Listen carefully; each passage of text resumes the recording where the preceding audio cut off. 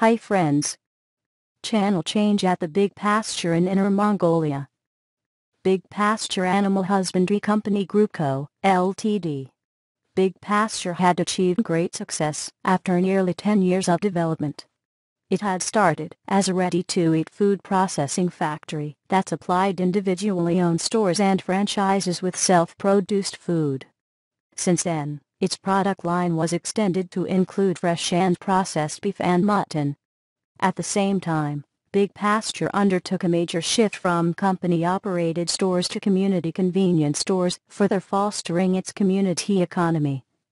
However, since the rapid development of e-commerce had contributed toward the success of many local sellers in China, Big Pasture saw the possibility of a breakthrough.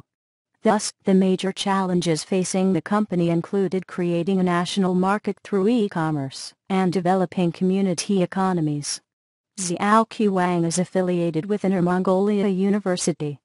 Thanks for watching this video.